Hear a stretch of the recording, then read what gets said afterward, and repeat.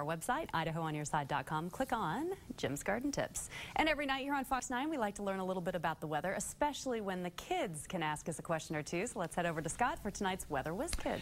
Well, tonight we're going to talk about, we, we talked about tornadoes last night. We're just going to stay in that severe weather theme here from Koelsch Elementary. They've been asking some great questions, and we've got some questions in regards to lightning. Hi, my name is Yasmeen. I go to Koelsch Elementary.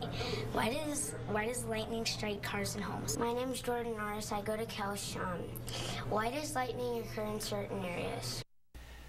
So why does lightning strike cars and homes? Why does it strike in certain areas? Some great questions about lightning. Let's take a look at some facts about lightning, and you'll see it here on the wider scale. Lightning hits the Earth about 8.6 million times each day. Picture the atmosphere as it's blowing over the top of the surface. It's rubbing against the earth and creating a static electricity, if you will. And there's a constant trying to balance of the electrical charges between the clouds and the atmosphere uh, in the earth. And so that's why you get this many lightning strikes. So it's pretty common, of course, across the globe. And so here you are with a charge differential, negative charges at the base of the cloud and charges down at the surface. So why does lightning strike in certain areas? Well, those charges will tend to run right up the higher objects.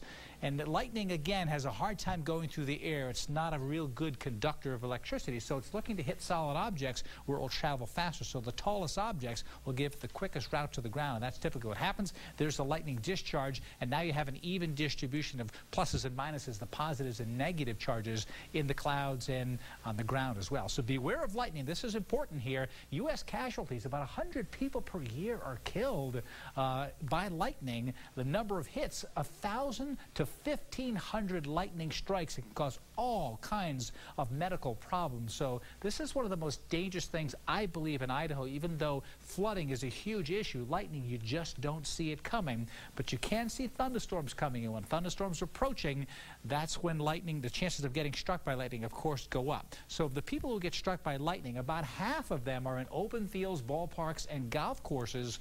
And then in a quarter of them generally under trees. You don't want to hover under, hide under a tree, even though it may be raining because that tree is going to attract lightning and attract that electricity. And then beaches and boats, even operating farm equipment, 7%. And that happens here in Idaho. I know of one particular death of somebody uh, setting an irrigation line once. So how far is lightning away? If it takes 10 seconds for the sound to come after the flash, you divide that by five, and that's two miles. So if it's 10 seconds, under 10 seconds, if lightning strikes within two miles, you need to take shelter. So Michelle, this is very important. We're all heading outside. If you see thunderstorms coming, just go inside this right here, the house.